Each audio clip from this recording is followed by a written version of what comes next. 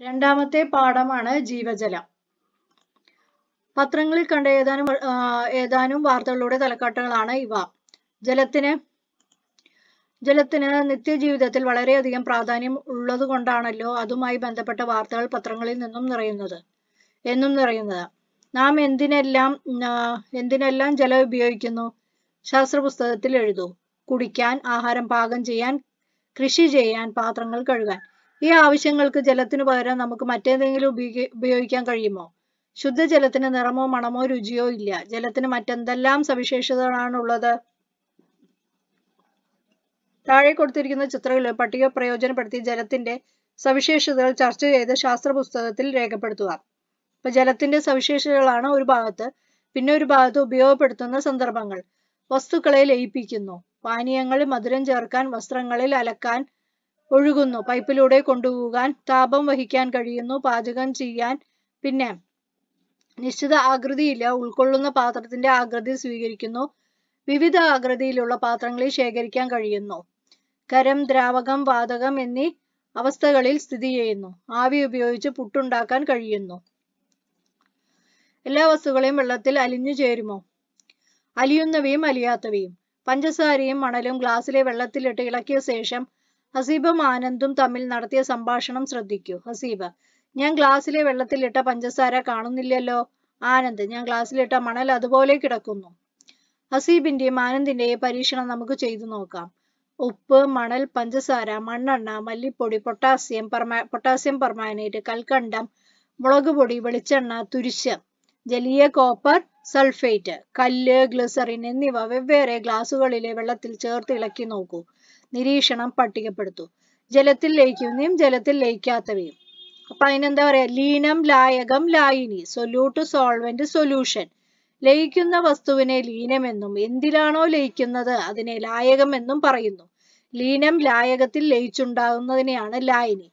പഞ്ചസാര ലായനിയിൽ പഞ്ചസാര ലീനവും വെള്ളം ലായകവുമാണ്.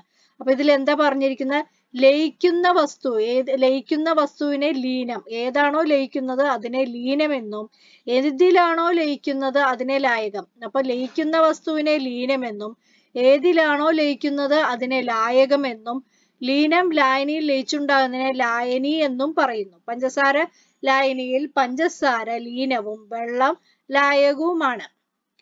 ചില ഖരവസ്തുക്കളും ദ്രാവകങ്ങളും ജലത്തിൽ ലയിക്കുന്നത് നിരീക്ഷിച്ചല്ലോ? വാതകങ്ങളും ജലത്തിൽ ലയിച്ചു ചേർന്ന് ലായനിയിൽ ഉണ്ടാകാറുണ്ട്. നമുക്ക് ഒരു സോഡ കുപ്പി തുറന്നു നോക്കാം. സോഡ കുപ്പി തുറക്കുമ്പോൾ വാതക കുമിളുകൾ ഉയർന്നു വരുന്നത് കാണുന്നില്ലേ? ജലത്തിൽ ലയിച്ചു ചേർന്ന കാർബൺ ഡയോക്സൈഡ് ആണ് കുമിളുകളായി പുറത്തു വരുന്നത്. എങ്കിൽ സോഡ വെള്ളത്തിലെ ലീനം ഏതാണ്? സോള വെള്ളത്തിൽ ലീനം എന്ന് പറയുന്നത് ഏതാ? വെള്ളമാണ് ലീനം. മത്സ്യങ്ങളും മറ്റു പല ജീവികളും വെള്ളത്തിൽ ലയിച്ചു ചേർന്ന് ഓക്സിജനെ ശ്വസിക്കുന്നു. വിവിധ ലായനികളിലെ ലീനം ലായകം എന്നിവ ചേർത്ത് പട്ടികയിൽ എഴുതാം. പഞ്ചസാര വെള്ളം. ലീനം എന്ന് പറയുമ്പോൾ പഞ്ചസാര ലായകം ജലം. ഉപ്പ് വെള്ളം. ഉപ്പ് ലീനം ലായകം ജലം. സോഡ വെള്ളം. എന്താണ് ലീനം എന്ന് പറയുന്നത്? മറ്റേ കാർബൺ ഡൈ ഓക്സൈഡ് അതിലെ ലയിക്ക ലായകം വെള്ളം. Potassium permanganate. ലീനം പൊട്ടാസ്യം പെർമാനേറ്റ് ലായകം ജലം. തുരിശ് ലായനി കോപ്പർ സൾഫേറ്റ് ലായകം ജലം. ഈ മറ്റു ലായനികളിൽ കൂടി ചേർത്ത് പട്ടിക വിപുലപ്പെടുത്തു. കൂടുതൽ വസ്തുക്കൾ ലയിക്കുന്നത് ജലത്തിലാണ്. പരീക്ഷിച്ചു നോക്കി പഞ്ചസ പരീക്ഷിച്ചു നോക്കി പട്ടിക പൂർത്തിയാക്കുക. ഏത് ദ്രാവത്തിലാണ് കൂടുതൽ വസ്തുക്കൾ ലയിക്കുന്നത്? ജലത്തിൽ ലയിക്കുന്ന എല്ലാ വസ്തുക്കളും മറ്റു ദ്രാവങ്ങളെ ലയിക്കുന്നുണ്ടോ? കൂടുതൽ വസ്തുക്കളെ ലയിപ്പിക്കുന്ന ഒരു ലായകമാണ് ജലം. അതുകൊണ്ട് ജലത്തെ സർവ സാർവിക ലായകം എന്ന് പറയുന്നു.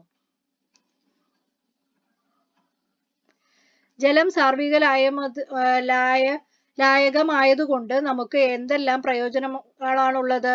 ജലത്തിന്റെ മറ്റു ചില സവിശേഷതകളെ കുറിച്ചും ചർച്ച ചെയ്യാം. ജലവിധാനം. ചിത്രത്തിലേതുപോലെയുള്ള ഒരു സംവിധാനം നിർമ്മിച്ചു നോക്കൂ. രണ്ട് പ്ലാസ്റ്റിക് കുപ്പികൾ ഒരേ വലുപ്പത്തിൽ മുറിച്ചെടുക്കൂ. അവയുടെ അടിഭാഗത്ത് ഓരോ ദ്വാരമിടണം. ഒരു മേസൺ പൈപ്പ് ദ്വാരത്തിൽ കടത്തിയ ശേഷം ചോർച്ചയില്ലാതെ പശ കൊണ്ട് അടയ്ക്കുക. ഒരു കുപ്പിയിൽ നിറയെ വെള്ളം ഒഴിച്ചു നോക്കൂ. നിങ്ങളുടെ പരീക്ഷണം എന്താണ്? രണ്ട് കുപ്പിയിലും ജലവിധാനം തുല്യമാവുന്നില്ലേ? ഒരു കുപ്പിയിൽ നിന്ന് അല്പം വെള്ളം നീക്കം ചെയ്യൂ. മറ്റു കുപ്പിയിലെ ജലനിരപ്പിന് മാറ്റം വരുന്നുണ്ടോ? ഒരു കുപ്പിയിൽ കുറച്ച് മണലിടുമ്പോൾ ജലവിധാനിയിൽ എന്തു മാറ്റമാണ് കാണുന്നത്? ഇനി മണൽ അല്പാൽപമായി സ്പൂൺ ഉപയോഗിച്ച് കോരിയെടുത്തു നോക്കൂ. ജലത്തിലുള്ള മാറ്റം നിരീക്ഷിക്കൂ. ജലവിധാനം താഴുന്നില്ലേ? ജലവിധാനം പാലിക്കുന്നു. വ്യവസായ ആവശ്യങ്ങൾക്കും വിൽപ്പന്നങ്ങൾക്കുമായി വൻതോതിൽ വെള്ളം ശേഖരിക്കുമ്പോൾ ഭൂഗർഭ ജലവിധാനം താഴുന്നതിനാൽ സമീപത്തെ കിണറുകളിലും ജലവിധാനം കുറയാനിട ഇടവരുന്നു. നാലോ അഞ്ചോ കുപ്പികൾ പരസ്പരം ബന്ധിപ്പിച്ചുകൊണ്ട് ഈ പരീക്ഷണങ്ങൾ ആവർത്തിച്ചു നോക്കൂ. മുങ്ങാനും മുങ്ങുന്നവയും പൊങ്ങുന്നവയും. മരക്കഷ്ണം വെള്ളത്തിലിട്ട് പരീക്ഷണങ്ങൾ ചെയ്യുകയാണ് മുബഷീറ. മരക്കഷ്ണം പൊങ്ങിക്കിടക്കുന്നത് കണ്ടല്ലോ. എല്ലാ വസ്തുക്കളും ഇതുപോലെ വെള്ളത്തിൽ പൊങ്ങിക്കിടക്കുമോ? നമുക്കറിയാവുന്ന ചില വസ്തുക്കൾ വെള്ളത്തിലിട്ട് പരീക്ഷിച്ചു നോക്കൂ. നിരീക്ഷണം ശാസ്ത്ര പുസ്തകത്തിൽ എഴുതാം. പല വസ്തുക്കളും ജലത്തിൽ പൊങ്ങിക്കിടക്കുന്നു എന്ന് മനസ്സിലായല്ലോ. വസ്തുക്കളുടെ ഈ പ്രത്യേകത നാം പ്രയോജനപ്പെടുത്തുന്നു. ഏതെങ്കിലും ഏതെല്ലാം സന്ദർഭങ്ങൾ നിങ്ങൾക്കറിയാം? വാഴപ്പിണ്ടിയിൽ കിടന്ന് നീന്തൽ പഠിക്കുന്നു. ചങ്ങാടത്തിൽ സാധനങ്ങൾ കൊണ്ടുപോകുന്നു. എങ്ങനെ അളക്കാം? റേഷൻ കടയിൽ നിങ്ങൾ മണ്ണെണ്ണ വാങ്ങിക്കാറില്ലേ? ഇത് തൂക്കിയാണോ അളന്നാണോ വാങ്ങുന്നത്? അവിടെയുള്ള അളവ് അവിടെയുള്ള അളവ് പാത്രങ്ങൾ ശ്രദ്ധിച്ചിട്ടുണ്ടാവും. ഏത് ഏകകം? ഏകകം പറഞ്ഞ യൂണിറ്റ്. ഉപയോഗിച്ചാണ് ദ്രാവങ്ങൾ അളക്കുന്നത്. ദ്രാവങ്ങൾ അളക്കുന്നത് ഏകകമാണ് എന്ത്? ലിറ്റർ. കുറഞ്ഞ അളവിൽ ദ്രാവങ്ങൾ അളക്കേണ്ടി വരുമ്പോൾ മില്ലി ലിറ്റർ എന്ന ഏകകം ഉപയോഗിക്കുന്നു. ചാർട്ട് പേപ്പർ ഉപയോഗിച്ച് നമുക്ക് ഒരു ലിറ്റർ പാത്രം ഉണ്ടാക്കാം. ഇതിനായി പത്ത് സെന്റിമീറ്റർ നീളവും പത്ത് സെന്റിമീറ്റർ വീതിയും പത്ത് സെന്റിമീറ്റർ ഉയരമുള്ള ഒരു പെട്ടി ഉണ്ടാക്കണം. താഴെ കാണുന്ന ആകൃതിയിൽ ചാർട്ട് പേപ്പർ വെട്ടിയെടുത്ത് കുത്തിട്ട ഭാഗങ്ങൾ മടക്കി ഒട്ടിക്കുക. ലിറ്റർ പാത്രം റെഡി ഈ പെട്ടിയുടെ ഉള്ളളവ് എത്രയാണെന്ന് നോക്കൂ. പത്ത് സെന്റിമീറ്റർ ഇന്റു പത്ത് സെന്റിമീറ്റർ ഇന്റു പത്ത് സെന്റിമീറ്റർ ഇക്വൾ ആയിരം ഘന സെന്റിമീറ്റർ അതായത് ആയിരം ഘന സെന്റിമീറ്റർ ഈക്വൽ ടു ഒരു ലിറ്റർ. ഒരു ഘന സെന്റിമീറ്റർ അളവിനെ ഒരു മില്ലി ലിറ്റർ എന്ന് പറയും. അപ്പൊ ആയിരം ഘന സെന്റിമീറ്റർ ആണ് എന്ത്? ഒരു ലിറ്റർ. ആയിരം ഘന സെന്റിമീറ്റർ ഒരു ലിറ്റർ ഒരു ഘന സെന്റിമീറ്റർ എന്നതിനെ ഒരു മില്ലി ലിറ്റർ എന്ന് പറയും. അതിനാൽ ഒരു ലിറ്റർ എന്നത് ആയിരം മില്ലി ലിറ്റർ ആണ്. വിവിധ അളവുകളിലുള്ള കുപ്പികളും പാത്രങ്ങളും നാം നിത്യേന ഉപയോഗിക്കുന്നുണ്ടല്ലോ. ഇവ ഉപയോഗിച്ച് അര ലിറ്റർ ഒരു ലിറ്റർ രണ്ട് ലിറ്റർ അഞ്ച് ലിറ്റർ വെള്ളം അളന്നെടുക്കാൻ കഴിയുമോ? പരീക്ഷിച്ച് നോക്കൂ. നിങ്ങളുടെ നിഗമനങ്ങൾ ശാസ്ത്ര പുസ്തകത്തിൽ ചേർക്കുമല്ലോ. ഭൂമി എത്ര ജലസമ്പന്നം? എന്നിട്ടും. ഭൂഗോള മാതൃക നോക്കുക. നീല നിറം ജലാശയങ്ങളെയാണല്ലോ സൂചിപ്പിക്കുന്നത്. ഭൂമിയുടെ അധിക ഭാഗവും സമുദ്രമാണ്. ഭൂമിയുടെ ഉപ ഉപരിതല വിസ്തീർണത്തിന്റെ മൂന്നിലും രണ്ടു ഭാഗവും ജലമാണ്. അതായത് കരയുടെ ഇരട്ടി ഭാഗം. കര കരയുടെ ഇരട്ടി ഭാഗമാണ് കടൽ. ഭൂമിയിലുള്ള ജലത്തിന്റെ ബഹുഭൂരിപക്ഷവും സമുദ്രജലമാണ്. ശുദ്ധജലം മൂന്ന് പോയിന്റ് അഞ്ച് ശതമാനവും സമുദ്രജലം തൊണ്ണൂറ്റാറ് പോയിന്റ് അഞ്ച് ശതമാനവും. സമുദ്രനിരപ്പിൽ ഉപ്പിന്റെ അളവ് കൂടുതലായതിനാൽ സാധാരണ ഉപയോഗ ഉപയോഗങ്ങൾക്ക് അനുയോജ്യമല്ല. കിണറുകൾ കുളങ്ങൾ തടാകങ്ങൾ പുഴകൾ തുടങ്ങിയ ശുദ്ധജല സ്രോതസ്സുകളാണ് ജലത്തിനായി നാം ഉപയോഗിക്കുന്നത്. നമ്മുടെ വീട്ടിലും പരിസരത്തിലും ജലസ്രോതസ്സുകൾ ഏതെല്ലാമാണ് ശാസ്ത്ര പുസ്തകത്തിൽ എഴുതുക ഇവിടെയുടെ എക്കാലത്തെയും വെള്ളം ലഭിക്കുന്നുണ്ടോ? ജലമലിനീകരണം. പരിമിതമായ ശുദ്ധജല സ്രോതസ്സുകളെ ജലം പോലും മലിനമായി കൊണ്ടിരിക്കുന്നു എന്ന് നമുക്കറിയാം. ജലം മലിനമാക്കപ്പെടുന്നത് എങ്ങനെയെല്ലാമാണെന്ന് കണ്ടെത്തി ശാസ്ത്ര പുസ്തകത്തിൽ രേഖപ്പെടുത്തുക. നിങ്ങൾ കണ്ടെത്തിയവയിൽ താഴെ പറയുന്നവയിൽ ഏതെങ്കിലും ഉണ്ടെങ്കിൽ അത് ചെയ്യുക. ജലമലിനീ തടയാനുള്ള മാർഗങ്ങൾ എന്തെല്ലാമാണെന്ന് കൂട്ടുകാരുമായി ചർച്ച ചെയ്യും ചെയ്യുക. പ്രവർത്തന പദ്ധതികൾ ശാസ്ത്ര ക്ലബിൽ അഭിമുഖത്തിൽ നടക്കുമല്ലോ. നമ്മുടെ ജലാശയങ്ങളും ജല സമൃദ്ധമാകുന്നത് എപ്പോഴാണ്? മഴയുണ്ടാകുന്നത് എങ്ങനെ? സൂര്യന്റെ ചൂടേൽക്കുമ്പോൾ ജലാശയങ്ങളെ വെള്ളത്തിന് എന്ത് സംഭവിക്കുന്നു? ഒരു പരീക്ഷണം ചെയ്തു നോക്കാം. പരീക്ഷണം അടുക്കളയിൽ തന്നെയാവട്ടെ. ഒരു പാത്രത്തിൽ കുറച്ച് വെള്ളം എടുത്ത് ചൂടാക്കൂ. പ്ലേറ്റ് കൊണ്ട് മാത്രം അടച്ചു വെക്കുക. അല്പസമയം കഴിഞ്ഞ് പ്ലേറ്റിന്റെ അടിവശം പരിശോധിക്കുക. നിരീക്ഷിച്ച കാര്യങ്ങൾ ശാസ്ത്ര പുസ്തകത്തിൽ എഴുതുക. മഴയുണ്ടാവുന്നത് എങ്ങനെയെന്ന് ഈ പരീക്ഷണത്തിന്റെ അടിസ്ഥാനത്തിൽ വിശദീകരിക്കാൻ താഴെ കൊടുക്കുന്ന ചിത്രത്തെ ചിത്രങ്ങൾ നിങ്ങളെ സഹായിക്കും. ജലാശയങ്ങളിലെയും സസ്യങ്ങളിലെയും ജലം സൂര്യന്റെ ചൂടേറ്റ് നീരാവിയായി അന്തരീക്ഷത്തിൽ എത്തുന്നു നീരാവി തണുത്ത് മേഘമായും മേഘം തണുത്ത് മഴയായും മാറുന്നു. മുമ്പെന്നോ നീ കുളിച്ച വെള്ളമാണ് ഇന്ന് നീ കുടിക്കുന്നത്. ഇത് മേഘം പറയുന്നതാണ് അത് ബാഷ്പീകരണവും സാന്ദ്രീകരണവും. ദ്രാവങ്ങൾ ചൂടേറ്റ് ബാഷ്പമായി മാറുന്ന പ്രക്രിയയാണ് ബാഷ്പീകരണം. അതായത് ദ്രാവകങ്ങൾ ചൂടേറ്റ് ബാഷ്പമായി മാറുന്ന പ്രക്രിയയാണ് ബാഷ്പീകരണം. വാതകങ്ങൾ തണുക്കുമ്പോൾ ദ്രാവകമായി മാറുന്നു സാന്ദ്രീകരണം. വാതകങ്ങൾ തണുക്കുമ്പോൾ ദ്രാവകമായി മാറുന്നതിനെയാണ് സാന്ദ്രീകരണം എന്ന് പറയുന്നത്. വെള്ളം നീരാവിയായി മാറുന്നത് ബാഷ്പീകരണവും നീരാവി വെള്ളമായി മാറുന്നത് സാന്ദ്രീകരണത്തിനും ഉദാഹരണങ്ങളാണ്. ജലസംരക്ഷണ മാർഗങ്ങൾ. മഴയായി മണ്ണിലെത്തുന്ന വെള്ളം നാളേക്ക് കൂടി ഉപയോഗപ്പെടുത്തേണ്ടതല്ലേ? മഴവെള്ളം മണ്ണിലിറങ്ങാൻ എന്തെല്ലാം മാർഗങ്ങൾ സ്വീകരിക്കാം? ചിത്രത്തിൽ നിരീക്ഷിച്ച് ശാസ്ത്രപുസ്തകത്തിൽ എഴുതുക.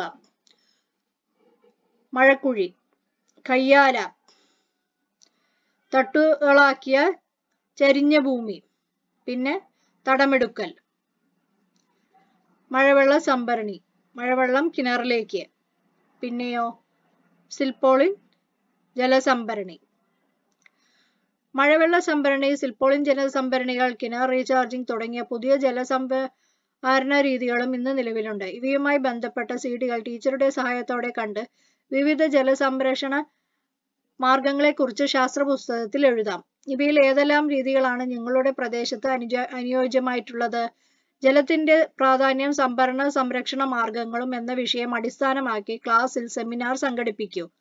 വെള്ളം വിനയാകുമ്പോൾ ജീവന്റെ നിലനിൽപ്പിന് ഇത്രയേറെ സഹായമാകുന്ന ജലം ചിലപ്പോഴെങ്കിലും വിനാശകാരിയാകാറുണ്ടല്ലോ. ഇത്തരം നിങ്ങൾക്ക് ഇത്തരം അനുഭവങ്ങളുണ്ടോ? അമ്മുവിന്റെ ഡയറി കുറിപ്പ് വായിക്കുക.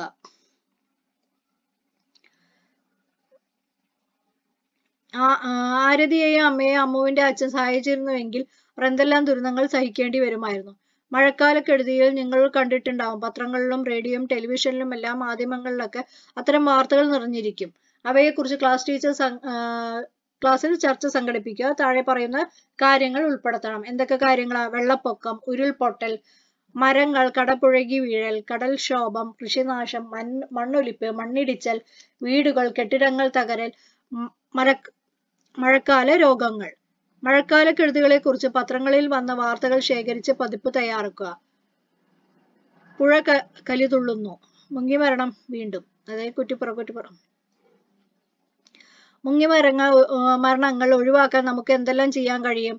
എല്ലാവരും നീന്ത പരിശീലനം നൽകാം. ഇതിനായി വെള്ളത്തിൽ പൊങ്ങിക്കിടക്കുന്ന വാഴത്തണ്ട് കാറിന്റെ ജീപ്പിന്റെയോ ടയർ കാറ്റു നിറച്ച് ഇവ ഉപയോഗിക്കാം. അപകട സാധ്യതയുള്ള സ്ഥലങ്ങളിൽ മുങ്ങൽ വിദഗ്ധരുടെ രക്ഷാപ്രവർത്തനം സേവനം ലഭ്യമാക്കൽ സുരക്ഷാ ബോട്ടുകളും പ്രഥമ ശുശ്രൂഷ സൗകര്യങ്ങൾ ഒരുക്കൽ ജലവാഹങ്ങളിൽ സുരക്ഷാ സംവിധാനങ്ങൾ ഒരുക്കൽ ജലാശയങ്ങളിലും പാടശേഖരങ്ങളിലും മണ്ണ് മണ്ണിട്ട് നികത്തിയും നദീതടങ്ങൾ കൈ കയ്യേറി നിർമ്മാണ പ്രവർത്തനങ്ങൾ നടത്തിയും ജലത്തിന്റെ ഒഴുക്ക് തടയുവാൻ വെള്ള തടയുമ്പോൾ വെള്ളപ്പൊക്കം ഉണ്ടാകുക ഉണ്ടാകുന്നത് സ്വാഭാവികമല്ലേ? അപ്പോൾ മഴക്കാലത്ത് പലപ്പോഴും നാം കേൾക്കുന്ന മുങ്ങിമരണങ്ങൾ സുരക്ഷിതമല്ലാത്ത വെള്ളക്കെട്ടുകൾ മൂലമുണ്ടാകുന്നതാണല്ലോ ചെങ്കുത്തായ പ്രദേശങ്ങളിൽ അശാസ്ത്രീയമായ നിർമ്മാണ പ്രവർത്തനം വൻതോതിൽ മണ്ണിളക്കിയുള്ള കൃഷിരീതികൾ കുന്നി കുന്നിടിക്കൽ വനനശീകരണം എന്നിവയെല്ലാം ഉരുൾപൊട്ടലിന് കാരണമാകുന്നു. മനുഷ്യ സൃഷ്ടി അല്ലെങ്കിലും കടൽക്ഷോഭം വലിയ നാശനഷ്ടങ്ങൾ വരുത്താറുണ്ട്. മുന്നറിയിപ്പുകൾ അവഗണിക്കുന്നതും കടൽ തീരത്തോട് ചേർന്ന് താമസിക്കുന്നതുമെല്ലാം അപകടങ്ങളുടെ കാഠിന്യം വർദ്ധിപ്പിക്കാറുണ്ട്. കടൽ ഭിത്തികൾ കെട്ടി കെട്ടിയും കണ്ടൽ ചെടികൾ വലിച്ചു വച്ചുപിടിപ്പിച്ചും കടലാക്രമണം നിയന്ത്രിക്കാൻ നമുക്ക് കഴിയും. പ്രകൃതി ദുരന്തങ്ങൾ തടയാൻ സഹായമായ മാർഗങ്ങൾ ശാസ്ത്രപുസ്തകത്തിൽ പട്ടിക എഴുതുക. നിങ്ങളുടെ പ്രദേശത്തുള്ള സന്നദ്ധ സംഘടനകളെക്കുറിച്ചും അവയുടെ പ്രവർത്തനത്തെക്കുറിച്ചും പരമാവധി വിവരങ്ങൾ ശേഖരിക്കുക. സന്നദ്ധ സംഘടനത്തിന് സേവനത്തിന് തയ്യാറാവുന്ന മനുഷ്യസ്നേഹികളെ വിദ്യാലയങ്ങളിൽ ക്ഷണിച്ചു വരുത്തി ആദരിക്കാൻ മറക്കില്ലല്ലോ.